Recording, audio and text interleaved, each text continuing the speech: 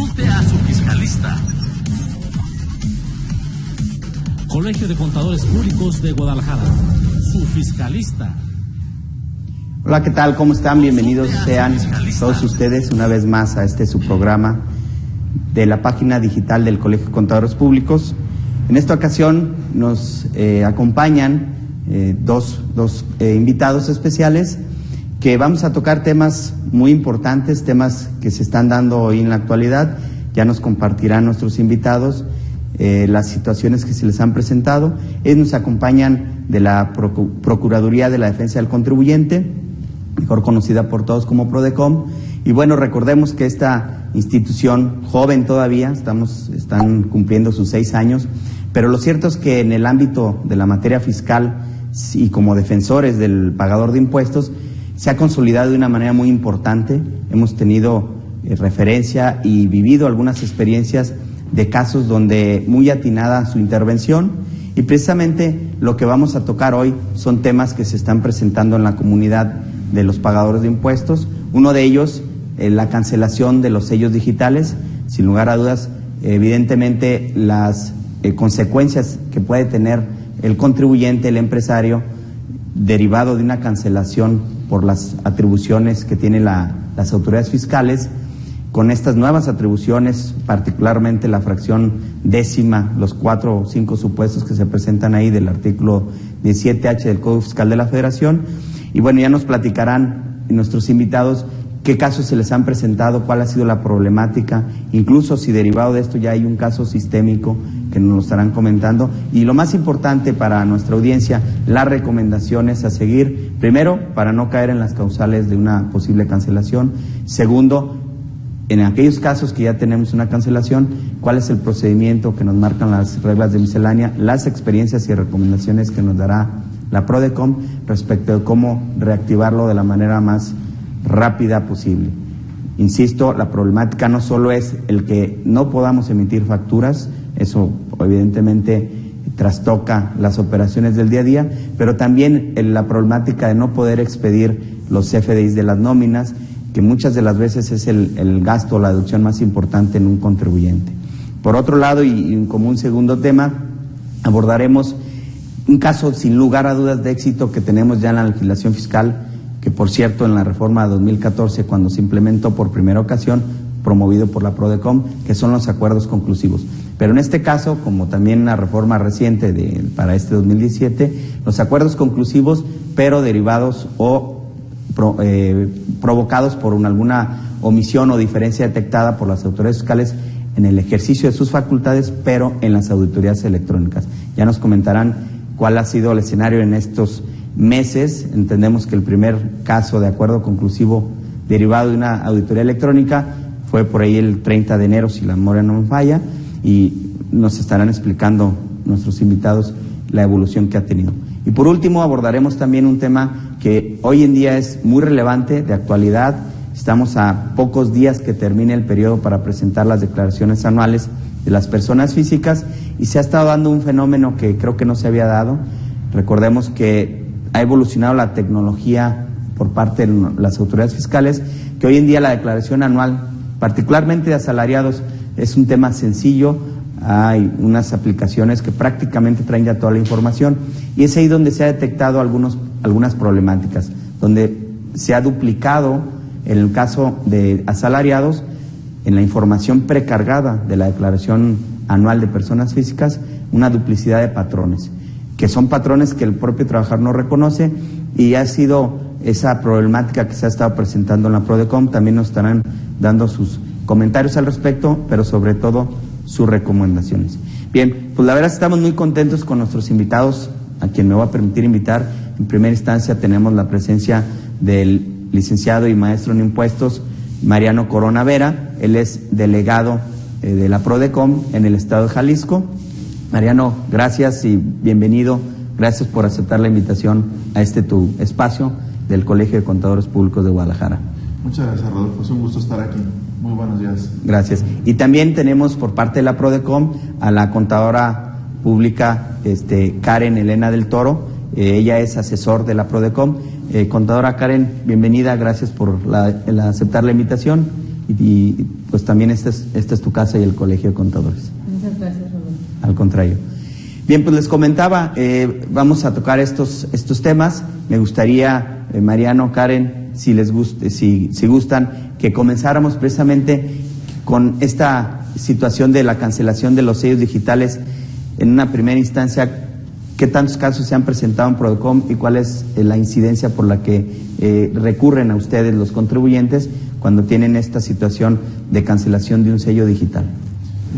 Mira, Rodolfo, el tema de cancelación de certificado digital es un tema sumamente sensible para Prodecon, dado que entendemos todo lo que trae consigo, como tú ya lo mencionas, que los contribuyentes no puedan facturar tanto a sus clientes como la nómina. Este tema lo ha ido conociendo Procon sobre todo a partir del año pasado y la realidad es que cuando menos en la delegación Jalisco sí hemos visto un incremento en este 2017 con respecto a 2016. Hoy en día, pues quien quiere comprar un producto o un servicio, si no lo va a hacer deducible y en su caso acreditable el impuesto al valor agregado. Entonces, en esto radica precisamente la importancia de mantener activos, vigentes nuestros certificados de sello digital. Yo todavía recuerdo el tema de congelamiento de bancarias y creo que era de las sanciones que más preocupaban a los contribuyentes en el 2013, en el 2014. Sin embargo, creo que esta medida es pues quizás más agresiva por los efectos que ya comentaste atinadamente. Y pues varía la problemática bastante. Puede ir desde una verificación de domicilio por parte de las autoridades fiscales, en este año en particular auditoría fiscal, o que te quieran cobrar un crédito fiscal y no te encuentren en tu domicilio, o por el solo hecho de que al comparecer la autoridad a tu domicilio refiere a que te estás, les estás obstaculizando el ejercicio de sus facultades de comprobación. En lo que refiere a los últimos problemas que hemos conocido, y ahí hemos logrado un buen consenso con las autoridades fiscales, es que, por ejemplo, recaudación únicamente lleva a cabo las visitas de verificación cuando se solicita auditoría fiscal y sea la autoridad fiscal quien valore la acta que al efecto le entregue recaudación para determinar si el domicilio reúne requisitos fiscales y con base en ello si el, el contribuyente puede considerarse que está localizado. En el tema, por ejemplo, vayamos y, por inicio en recaudación. Es común que las autoridades fiscales, cuando van al domicilio para hacer exigible un crédito fiscal, llegan, requieren pago y si consideran que el domicilio ahí no está el contribuyente, le cancelan certificados de ficha digital. Como todos saben, hay que presentar un caso de aclaración ante la página de internet del SAT. En teoría, la autoridad cuenta con tres días para resolverla y para ello también hay que solicitar una verificación de domicilio. Acuden al domicilio, tienen por localizado al contribuyente, sin embargo nos hemos encontrado con la situación que las autoridades, además de estar localizado al contribuyente, quieren que éste entere el crédito fiscal efecto de poderle levantar la cancelación y que pueda generar nuevos certificados de sello digital. Esta práctica nosotros la consideramos indebida. El motivo por el cual la autoridad en su momento canceló tiene únicamente que ver con la localización del contribuyente y no es una hipótesis prevista en código para cancelación o para que subsista la cancelación que no se pague el crédito fiscal. Entonces, hay que tener cuidado con todo este tipo de actuaciones de las autoridades. Hay que analizarlas con detenimiento cada cancelación para determinar cuáles son sus motivos, cuáles son sus fundamentos y buscar que las autoridades no se extralimiten en el ejercicio de sus atribuciones. Te platico otro ejemplo, y este es muy, reciente, de hecho fue en este mes de abril. Tenemos una autoridad, autoridad fiscal, que le cancela certificados de sello digital al continente porque no presentó una declaración, perdón, porque la presentó con errores en cuanto a los ingresos. Y cuando analizamos la motivación de la cancelación de certificados de sello digital, autoridad fiscal presiona esos términos porque dice que analizando sus bases de datos, advirtió que tuvo compras en el ejercicio y con base en ello aduce que hubo errores en la manifestación de los ingresos de la declaración. Es decir, pretende presumir que con base en compras tuvo ingresos. Adicionalmente, la autoridad, cuando el contribuyente presenta su caso de declaración, presenta su declaración a que sí modificó el rubro de ingresos, le requiere información y documentación que para validar la aclaración, la información contenida, y le requiere, entre otras cosas, un papel de trabajo en el que diga cómo determinó sus impuestos, que le diga eh, cuáles son sus deducciones, que le exhiba los comprobantes y asimismo quiere revisar sus ingresos. Todo esto evidentemente sale de lo que es el requerimiento de información que conforme al reglamento de código te puede hacer la autoridad fiscal. Y también es información que no se requiere en absoluto para detener si el contribuyente ya se salió del supuesto por el cual se le habían cancelado los certificados de sello digital. El tema, así llegó el contribuyente con nosotros con una queja por la cancelación y con el requerimiento de información y documentación.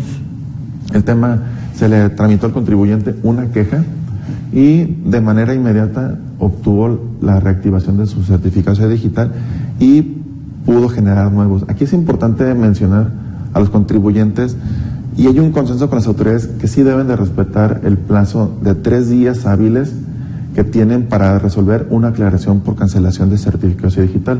Como lo sabes, esa aclaración es o para desvirtuar el supuesto o para subsanar la omisión que se haya detectado. Sin embargo, eh, eh, ha sido una práctica en la que eh, ha conocido por que las autoridades no siempre resuelven la aclaración en tres días.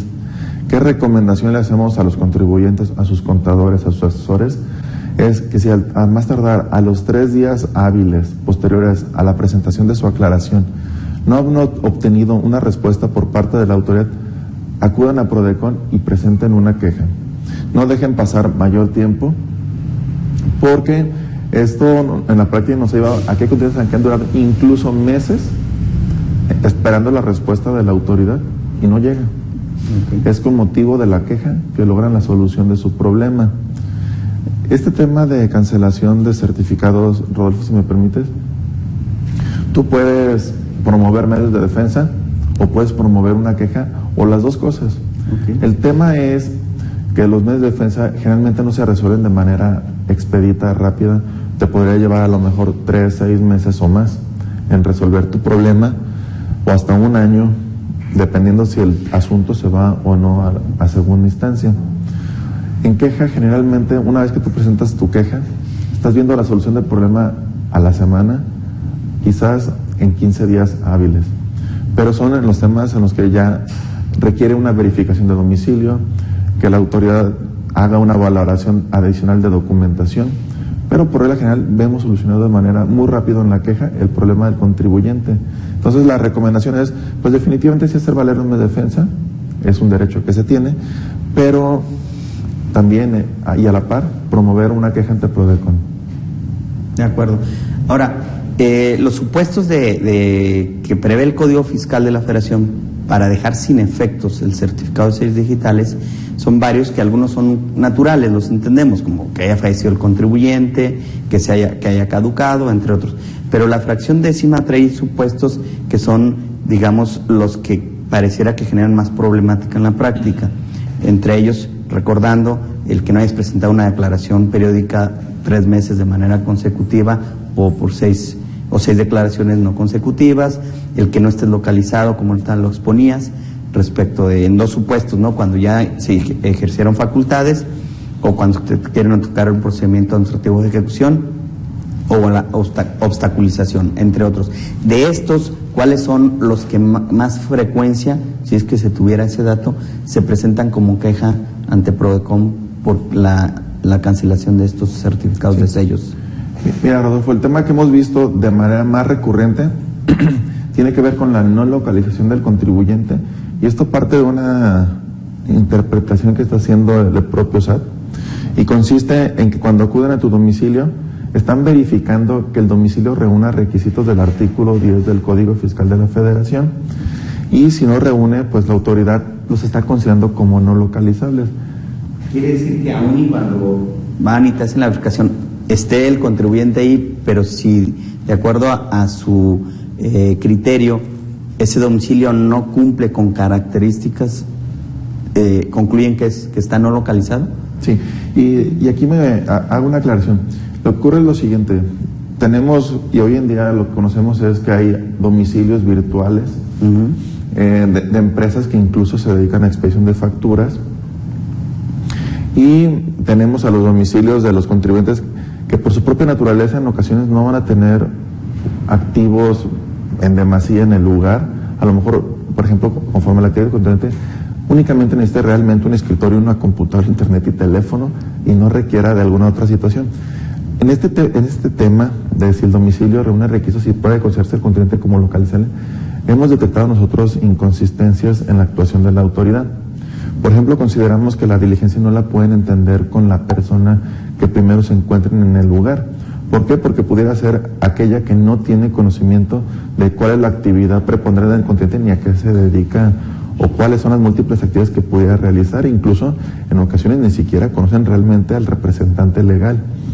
Adicionalmente, consideramos que deberían, dejar un citatorio en caso de que no te encuentren a, ti contribuyente o representante legal.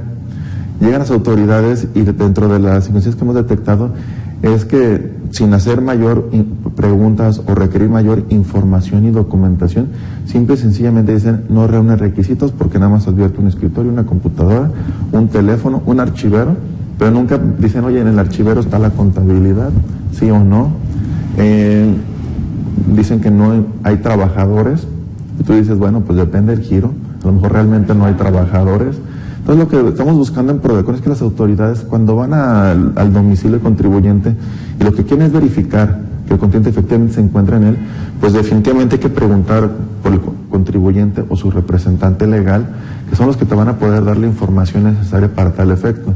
Si quieres verificar si el contribuyente adicionalmente realmente lleva ahí su actividad o toma las decisiones en el lugar, pues pregúntale precisamente quién toma las decisiones, cuándo está, en qué horario, qué información y documentación se tiene para demostrar lo anterior. Pero realmente es el tema que más hemos visto en Prodecon, por el cual la autoridad está cancelando certificados digital. Y la novedad, pues realmente eh, también está, y lo estamos viendo, tiene que ver con la falta de presentación de declaraciones, o incluso, como te comenté, ya va más allá de las declaraciones que presentaste, cuáles contienen errores. Como sabemos, pues el SAT cada vez tiene mayor información y documentación con motivo de la generación de CFDI, de la presentación de declaraciones tanto anuales como informativas y pues en lo subsecuente con la propia información que los contribuyentes presenten con el envío de autoría electrónica.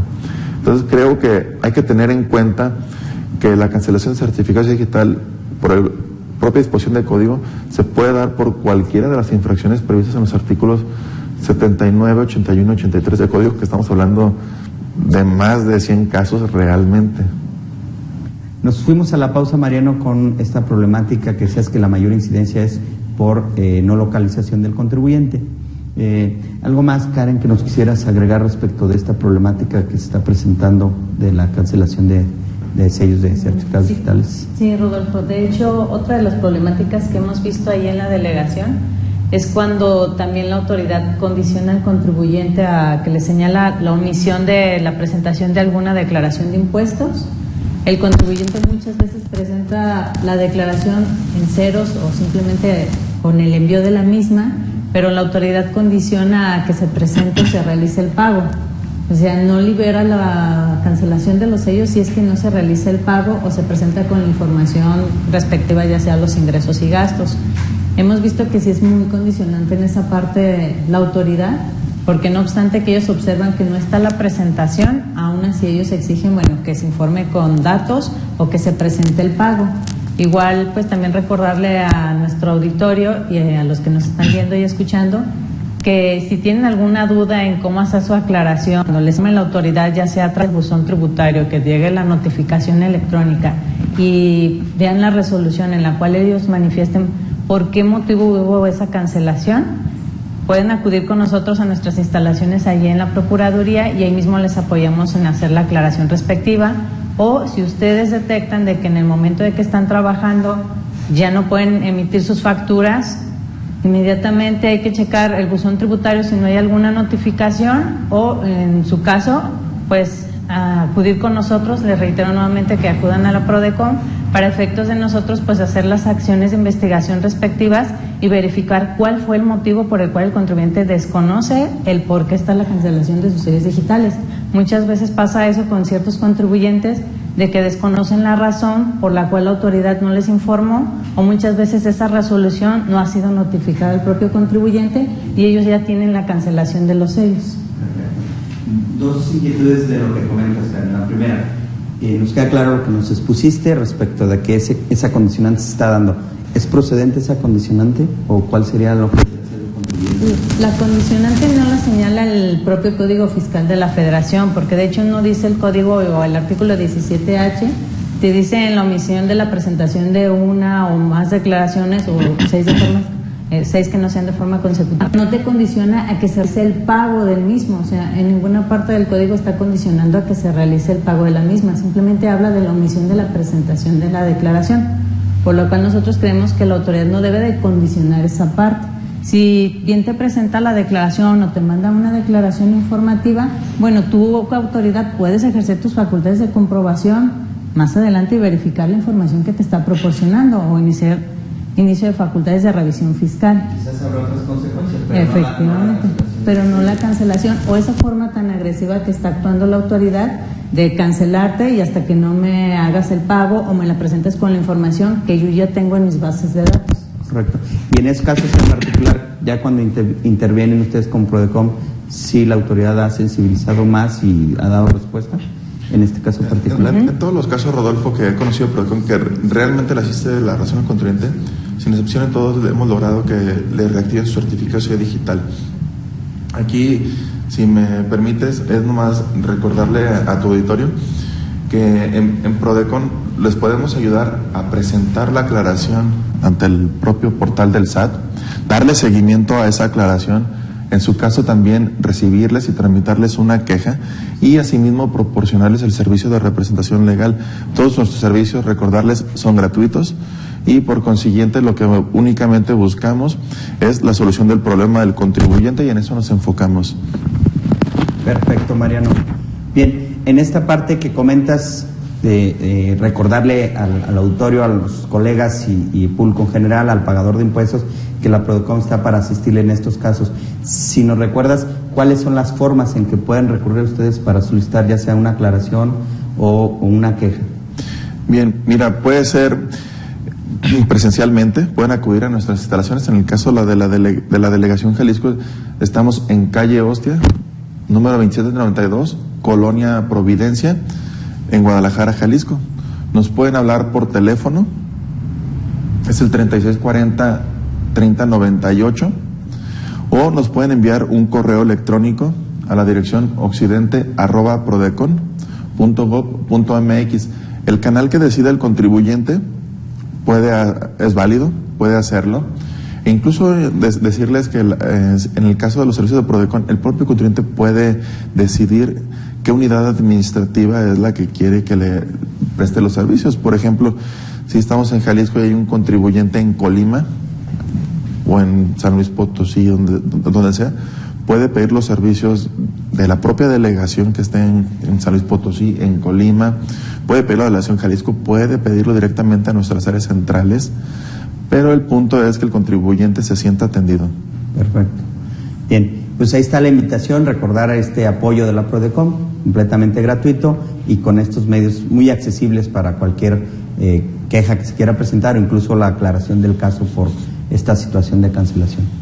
Bien, si les parece, pasamos al segundo tema, que sin duda también es un tema eh, novedoso, que está cobrando mucha relevancia y consiste precisamente en eh, los acuerdos conclusivos, pero a través de auditorías electrónicas. La auditoría electrónica pues es algo completamente nuevo en nuestro sistema fiscal tributario. Si bien la reforma fue en 2014, pero lo cierto es que se materializó apenas en este año, ¿no? Por algunas situaciones, eh, entre otras, que estaba en proceso de, de, resolución los amparos del propio, eh, tanto la contabilidad electrónica como el, buzón tributario, que es el medio por el cual te van a ser sabedor o las notificaciones y todo el proceso de la auditoría electrónica. En este caso, ¿cuáles el, los escenarios actuales, eh, Mariano, Karen, respecto de estos acuerdos conclusivos? Que como sabemos, el acuerdo conclusivo es un mecanismo también nuevo en nuestra legislación mexicana de 2014 para acá, nuestra legislación fiscal, que consiste en llegar a un acuerdo amistoso por una controversia eh, o disputa entre las partes sin llegar a un, a un litigio, ¿no? De una manera más rápida y con el beneficio de la condonación por primera vez de las multas, ¿no? El 100% de las multas. ¿Cuál ha sido la, la situación ya con los acuerdos conclusivos respecto de autoridades electrónicas? Bien, mira, primero, si me permites, recordar que los acuerdos conclusivos son el primer medio alternativo de solución de diferencias en México. Eso significa que los contribuyentes cuando están siendo auditados ya no tienen que esperarse a la liquidación y posteriormente acudir a tribunales para ver la solución de sus problemas. Entonces, dentro de las propias autoridades contribuyentes hoy en día tienen esta figura de acuerdos conclusivos que se tramitan ante PRODECON y la finalidad es dirimir sus diferencias con las autoridades, ya sea que le desvirtúen los hechos y omisiones que les esté imputando a las autoridades o en su caso que regularicen total o parcialmente la situación fiscal. Eso es una situación que el contribuyente podrá proponer a la autoridad y eh, tener mesas de trabajo para tal efecto. Antes de 2017, eh, generalmente todas las revisiones fueron electrónicas eh, de gabinete y vistas domiciliarias, algunas que todavía sí hubo electrónicas a finales del año pasado. La cuestión a considerar dentro de revisiones electrónicas es la siguiente.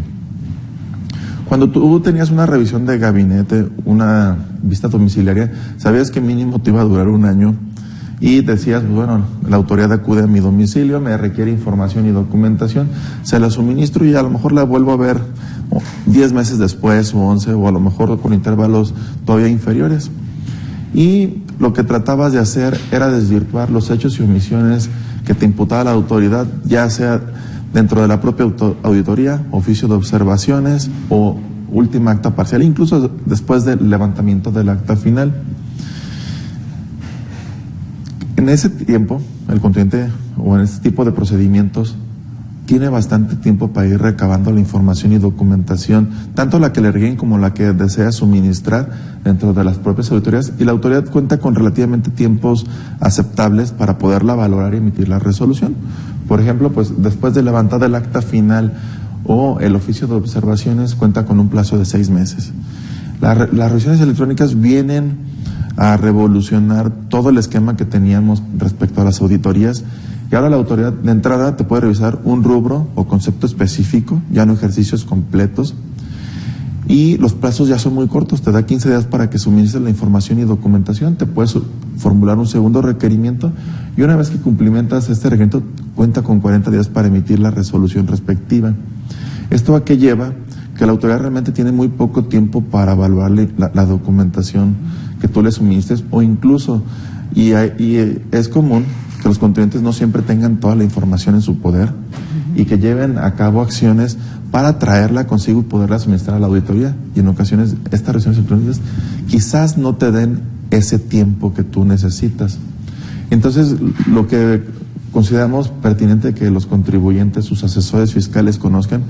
es que tienen los acuerdos conclusivos dentro de las revisiones electrónicas. Lo que estamos teniendo actualmente en revisiones electrónicas, Rodolfo, es que las autoridades fiscales están yéndose precisamente por conceptos como, por ejemplo, declaraste retenciones de impuesto sobre la renta o de IVA, pero no, tengo el registro de eso entero, voy y te verifico el cumplimiento de tus obligaciones en materia de, de entero, retención entero de las contribuciones. O, por ejemplo, presentaste tus declaraciones de impuestos, manifestaste que llevaste a cabo compensaciones, pero resulta que tus compensaciones o no las registré o te las tuve o te las rechacé.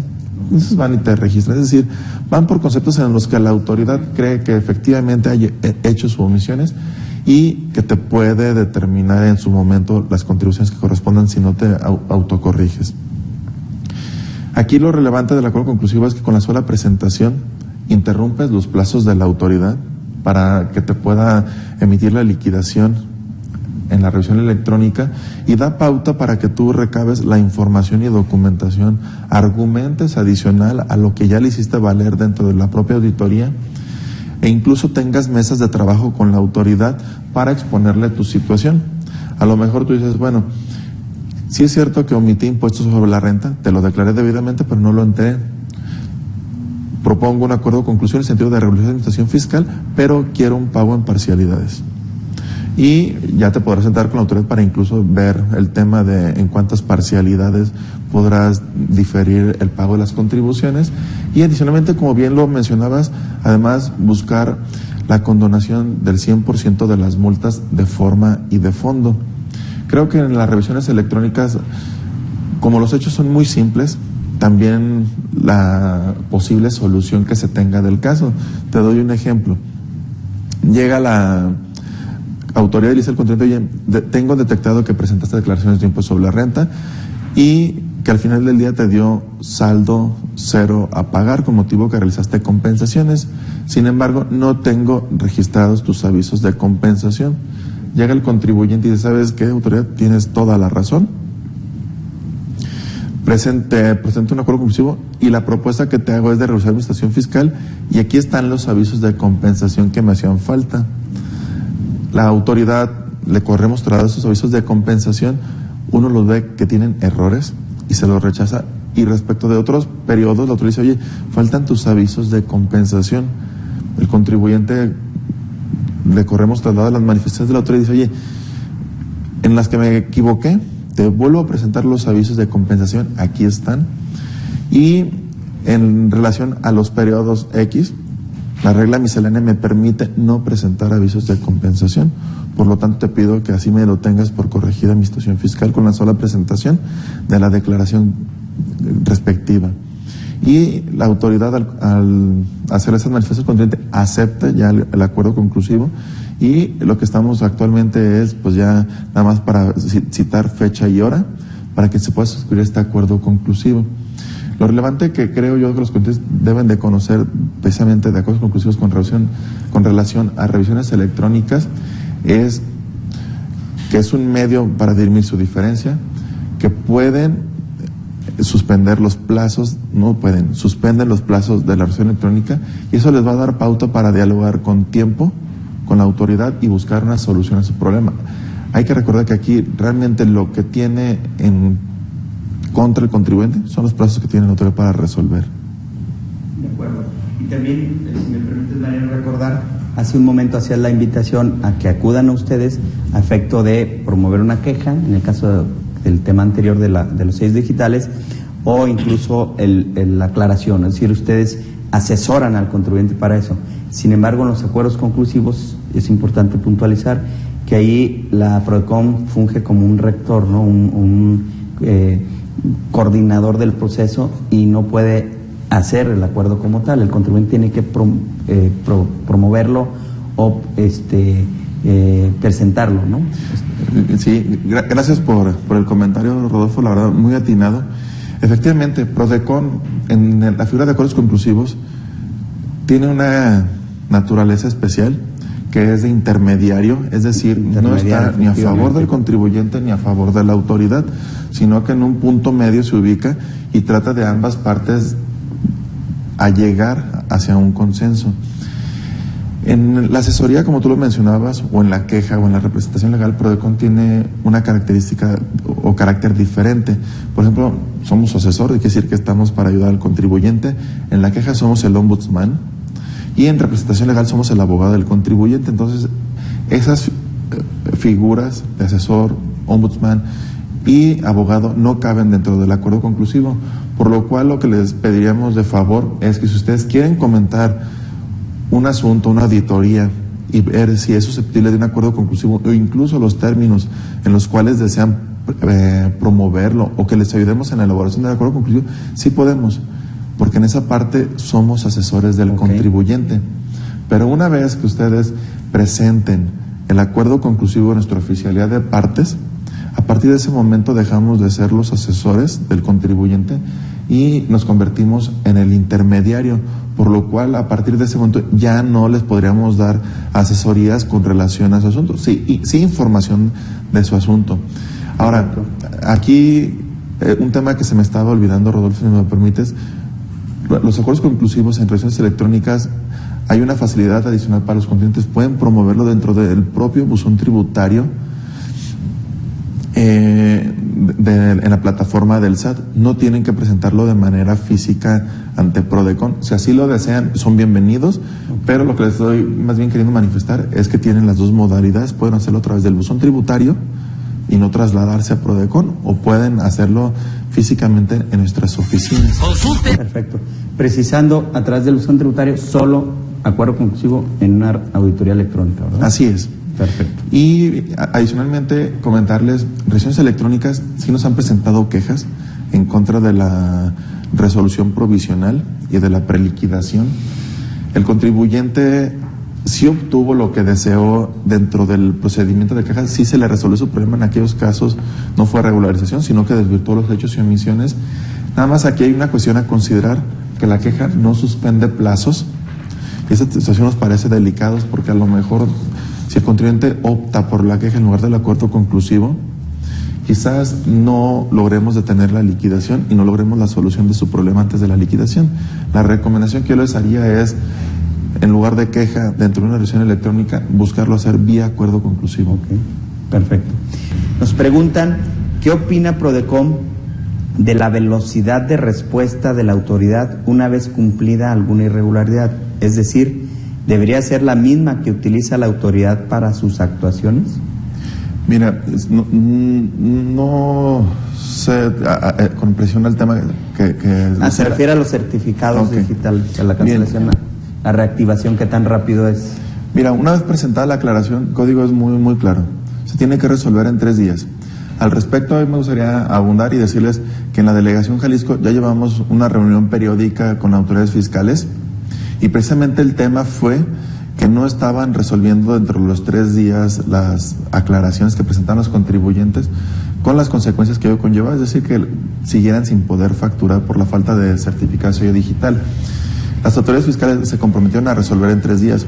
Todo lo que yo les diría a los contribuyentes es que está el compromiso por parte de las autoridades de sí resolver en tres días unas que cuentan con la información y documentación completa pero que si tuvieran algún inconveniente, algún problema con las autoridades, acudan con nosotros y no solamente podemos decirle a la autoridad, el 17H te establece que son tres días, sino que adicionalmente tenemos un compromiso en, una reunión periódica con las autoridades en la que está firmada por los propios titulares de las administraciones. Entonces, pudiéramos concluir que debe ser inmediato. Así es, dentro del plazo de tres días. Ok, perfecto. La siguiente pregunta, ¿qué desventajas ve Prodecon en el procedimiento de acuerdos conclusivos, sean revisiones electrónicas o no. Mira, como tal, yo no puedo ver una desventaja, y no porque sea el titular de la delegación de Prodecon, ¿verdad? Sino porque veo cómo operan en la práctica los acuerdos conclusivos y realmente he llegado a la conclusión, Rodolfo, que de un acuerdo conclusivo no puede haber una desventaja hacia el contribuyente. Te pongo o te doy un ejemplo. Si el contribuyente Pongamos un caso fácil. Viene porque la autoridad le está rechazando un comprobante fiscal porque dice que las operaciones no se realizaron. Y dice el contribuyente que dentro de la auditoría ya proporcionó información y documentación con la cual desvirtúa el derecho de omisión. Y quiere que la autoridad quite el hecho de omisión. Cuando le damos traslado a la autoridad, puede ser que nos acepte el acuerdo conclusivo. Si es así, que así ha sucedido, en situaciones como la que planteo, el contribuyente ve cerrada la auditoría fiscal de manera paralela a que suscribe el acuerdo conclusivo. Si el contribuyente, la autoridad le contesta que no desvirtúa los hechos de emisión estadística de la información y documentación es insuficiente, de entrada, dos cuestiones a considerar. La primera es que podrá solicitar una mesa de trabajo y ofrecer información y documentación adicional. La segunda es que ya tiene o ya se anticipó a la valoración que la autoridad le hubiera dado dentro de la liquidación en el procedimiento de auditoría y puedes saber cuál es el, el, escenario que realmente se está enfrentando. Entonces, ¿qué es lo que debe hacer el contribuyente? Pues presentar mayor información y documentación. Si no la logra desvirtuar sus misiones a la autoridad, de entrada ya sabe cuál es la consideración de la autoridad, por dónde la autoridad está valorando la información y documentación, cuáles son sus consideraciones, Y yo te diría que aún y cuando no se suscribe el acuerdo conclusivo, pues yo no lo vería como desventaja, sino que el contribuyente ya empieza a saber cuál es el escenario al que se va a enfrentar e incluso podrá ya ir pensando en cuál va a ser su estrategia de defensa ante los tribunales. Cuestión a considerar, si el acuerdo conclusivo suspende plazos de la auditoría, si no se llega al consenso, no sucede nada, simplemente se levantan plazos y continúa la auditoría como si no hubiera pasado. Es por ello que yo comento que yo no le veo una desventaja al acuerdo conclusivo. Y pues si fuera poco, si el contribuyente determina decir, bueno, que también me ha pasado que dicen, bueno, lo intenté, no logré convencer a la autoridad, no deseo acudir a tribunales, la verdad es que no le quiero invertir más tiempo a esto, quiero regularizar mi situación fiscal, pues obtiene la condonación de las multas al 100% en su primer acuerdo conclusivo, reitero, de, de fondo y forma. De acuerdo. Por último, para concluir con acuerdos conclusivos, esa sin duda es una de las principales ventajas, la condonación al 100% de multas, como decías, fondo y forma, pero es por única ocasión. ¿Han considerado, luego de ya tres años de este acuerdo conclusivo, de, de esta herramienta que tienen los pagadores de impuestos, el plantear a lo mejor que no solo en la primera, como una, revisión a estas disposiciones y una modificación? Mira, para serte sincero, Rodolfo, yo no tengo conocimiento de que se haya planteado esa situación aún. Perfecto. Pues ojalá y, veamos en el futuro a lo mejor la evolución de estas disposiciones y que se considere no solo en el primer acuerdo, a lo mejor el segundo con algunas condicionantes, ¿no? Pero ahí lo dejamos para otra ocasión. Si les parece, eh, continuando con, con los temas, pasamos al último tema, un fenómeno que parece que se está dando por primera vez, o por lo menos yo no tengo antecedente del año pasado, donde vemos que los asalariados a la hora de analizar su información precargada en su declaración anual, eh, de repente hay o patrones duplicados o otros patrones que él no reconoce. Parece que está, no sé si habiendo problemas con la información electrónica. ¿Qué, qué se ha presentado estos casos en la PRODECOM y cuáles serían los, las recomendaciones al respecto? Sí, mira, Rodolfo, la verdad el tema nosotros lo vemos delicado y la situación consiste en que cuando las personas físicas asalariadas están accediendo a la plataforma del SAT para presentar su declaración, están advirtiendo, e incluso en la delegación hemos advertido, porque han acudido, a presentar la declaración, se ha advertido que dentro del rubro de ingresos, personas que nada más tienen a un solo patrón, de pronto ven reflejado a dos o tres patrones en total. Con ingresos mínimos, si tú lo quieres, es decir, aquellos que en el continente se viven, no, esos no son mis patrones, nunca les presté un servicio, no tengo ninguna relación con ellos, y les presentan depósitos en el año entre 25 mil y 26 mil pesos. Incluso si llegas a ver las empresas que están declarando a, diferentes contribuyentes, las cantidades llegan a ser las mismas. Entonces, lo que estamos ahorita asesorando a los contribuyentes en una primera instancia, pues ayudarles a presentar su declaración eliminando, o la sugerencia es eliminar a esos supuestos patrones y únicamente declarar los ingresos que se están reconociendo como tal. Presentar la declaración ya sea con el saldo a favor o el saldo a cargo y realizar el entero. Se pueden presentar diferentes escenarios dependiendo de cualquiera de las dos. Saldo a favor, que se presente, o impuesto a cargo. También han acudido contribuyentes ya que presentaron su declaración y el SAT les está diciendo, oye, tu declaración tiene datos incorrectos, dado que nada más incluiste uno de tus retenedores y te faltan los demás. Entonces, ahí ya hay otra situación que considerar y ahorita les platico lo que tenemos eh, pensado en Prodecon actuar. También tenemos a contribuyentes que nos dicen, oye, quiero presentar mi declaración, pero evidentemente se está viendo disminuido mi saldo a favor o incluso me está dando impuesto a cargo con motivo de los ingresos que me reportaron terceros que yo desconozco. Aquí la invitación que, que hacemos a los contribuyentes, a sus asesores, es que si están en esta situación, acudan a Prodecon. Si creen que no lo están, corrobórenlo, porque como los ingresos que ponen son muy pequeños, pudiera ser que si no le das en el rubro de abres la, la, pestaña de, ingresos, no te pudieras percatar de que te están reportando ingresos que no corresponden. una vez que acuden a Prodecon, les ayudamos a presentar la declaración de manera correcta. Adicionalmente, les estamos ayudando a promover una queja en contra del retenedor con el fin de conocer por qué lo reportó al contribuyente. Es decir, primero estamos tratando de averiguar si se trata de un error. Ya nos ha sucedido con otros, con, otros contribuyentes y las empresas han presentado declaraciones complementarias, en la que corrigen la información. Y si logramos esa situación, pues damos por concluida la queja, pero pudiera ser el supuesto de que tú presentaste una devolución sin considerar esta situación o un impuesto a cargo menor y la autoridad fiscal te esté notificando una resolución en la que te niegue el saldo a favor, te lo modifique o que te aumente tus impuestos a cargo. Lo que les, una carta de invitación, perdón, en el caso de impuestos a cargo, lo que les podremos en resumen decir es que en Prodecon les podemos recibir una queja en contra de la resolución de la autoridad en el trámite de devolución. Podemos ayudarles a presentar juicios en contra de las resoluciones que correspondan. Si les llega carta aclaración por parte de la autoridad, les podemos abrir tanto queja como eh, em, dar el servicio de asesoría y en su caso representación legal. Aquí lo, que me, gustaría más bien establecer con precisión, Rodolfo, es que los contribuyentes es primero, antes de presentar su declaración anual, verifiquen sus ingresos. Si ya la presentaron, por favor, verifíquenlos. Y si tienen estas inconsistencias, pues no deben acudir con nosotros para, en su caso, tramitarles una queja, una aclaración ante el SAT o representación legal.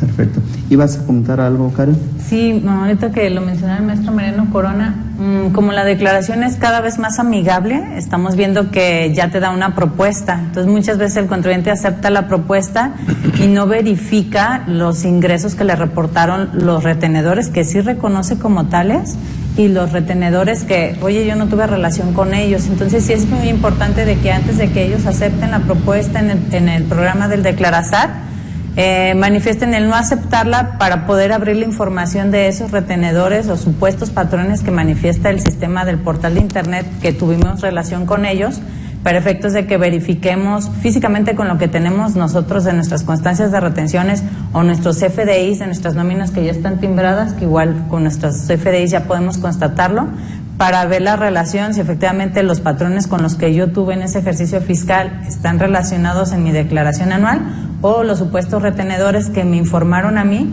pues como bien lo comentaba el maestro Mariano Corona, pues hacer la eliminación de los mismos, puestos que no los reconocemos y algo que nosotros sí verificamos es de que algunas de esas supuestas empresas o retenedores no les expidieron CFDIs, entonces es algo que también nos llama mucho la atención porque si no hubo una expedición de un CFDI, pero sí hubo una declaración informativa donde sí relacionaste a ese trabajador o asalariado. Eh, como bien lo decían, pues esto es una situación que puede traer consecuencias importantes, es una situación delicada. ¿Cuáles pudieran ser las causas? Una, mencionaste un ejemplo que sí sea error y que presenta una complementaria, pero pudiéramos estar quizás ante algún abuso por parte de un tercero, incluso eh, tratando de utilizar la identidad de, un trabajador, o no llega tanto esa problemática? Mira, por el momento todavía no tenemos información que nos pueda llevar a determinar una u otra hipótesis, pero definitivamente lo que em, eh, pudiera pasar es quizás nada más un error si no fuera un error, pues evidentemente ya estaríamos pensando en darle una asesoría de naturaleza diferente al contribuyente, en adición a todo lo que te acabo de comentar. Es decir, quizás si no fuera una cuestión de un error y tratar de una cuestión o una relación que realmente no existe, pues quizás podríamos estar hablando ya más bien de un ilícito, Rodolfo. Perfecto, lo cual esto conlleva situaciones diferentes y algo más grave, ¿no? Así es. Bien, pues la verdad que el tiempo vuela en en televisión, aun y cuando sea por internet. Este, muy agradecidos de su presencia, ojalá y sea la, primera de muchas. Y antes de pasar a, sus conclusiones finales, me gustaría, si me permites, Mariano, hacer un anuncio a nuestro auditorio eh, y, bueno, eh, comprometerte un poquito, o mejor dicho, darte la invitación que tan amablemente haces para este espacio, para los contadores y contribuyentes, donde eh, nuestro delegado, delegado de la PRODECOM, eh, a partir de la siguiente emisión nos ha confirmado que estará apoyándonos enviando asesores de la PRODECOM para tener un espacio adicional dentro del programa donde puedan directamente a través del chat presentar alguna queja, alguna asesoría y que a través de la presencia del asesor de Prodecom se lleve el asunto y le siga dando seguimiento, lo cual es, eh, facilita el uso de estas herramientas tecnológicas a efecto de que puedan interponer una queja, una, consulta o cualquier tipo de asesoría a través de la Prodecom, lo cual agradecemos esa noticia, Mariano, y pues aceptada por nuestra parte, por lo cual a partir del siguiente programa, que le recuerdo son los segundos martes de cada mes, es decir, el 9 de mayo estaríamos eh, transmitiendo la siguiente emisión, donde ya estaríamos con presencia permanente de Prodecom para efecto de que pueda asesorarlos y apoyarlos a toda la audiencia. Muchas gracias, Rodolfo. Por el contrario, te agradezco el apoyo y la oportunidad en tu espacio para que eh, participe de manera activa, como tú lo mencionas, cada segundo martes del mes. Y pues va a ser un placer estar con ustedes y, nos, y quedamos a la orden para cualquier asunto que quieran someter a nuestra consideración, ya sea una asesoría, una queja o una solicitud de representación legal o incluso ver el tema como lo acabamos de comentar, acuerdos conclusivos. Perfecto. Para concluir, Mariano, ¿alguna regla final? Sí, bien, simplemente señalarles a los contribuyentes que, o a sus asesores fiscales que ante cualquier duda de la actuación de la autoridad pueden acudir con nosotros. Si fuera el caso que no tienen conocimiento con precisión de cómo desarrollamos nuestros procedimientos, no se preocupen, simplemente acérquense con nosotros, nosotros les explicamos, les ayudamos, como les comentaba, a, plantear casos ante las propias autoridades, aclaraciones, reconsideraciones, les elaboramos nosotros las quejas, no las tienen que elaborar ustedes, se las podemos elaborar nosotros. Les podemos, podemos ser sus abogados, podemos elaborar los acuerdos conclusivos hasta antes de su presentación. Y sobre todo, pues estar pendientes a las actuaciones de las autoridades. Si ustedes acuden con nosotros, nosotros conocemos cuáles son las inconsistencias que pueden estar habiendo por parte de las autoridades y buscar la corrección de las mismas. Por tanto, la invitación sería, pues ante cualquier actuación de la autoridad, acudir a Prodecon. Perfecto, muchísimas gracias Mariano. Karen, ¿cuál sería tu conclusión? Eh, nuestra conclusión sería, bueno, que les recordamos nuevamente que los servicios son gratuitos, que se acerquen, que nuestras instalaciones, volvemos a repetir el domicilio, están ubicadas en calle Hostia 2792, en la colonia Italia Providencia, el teléfono el 3640-3098 y tenemos también el chat en línea, tenemos nuestro correo electrónico que es el de occidente.prodecom.gov.mx y pues también recordarles al auditorio a los contribuyentes que de, tanto de quejas como de acuerdos conclusivos, algún servicio de representación legal, eh, tenemos también nuestros formatos oficiales establecidos en la página de internet de la Prodecon, que igual son descargables y editables. También pueden hacer el llenado del mismo y enviar su información a través de ese medio. Bien, pues muchísimas gracias al delegado de Prodecon, Mariano Corona, asesor Prodecon, Karen este, El Toro, muchísimas gracias.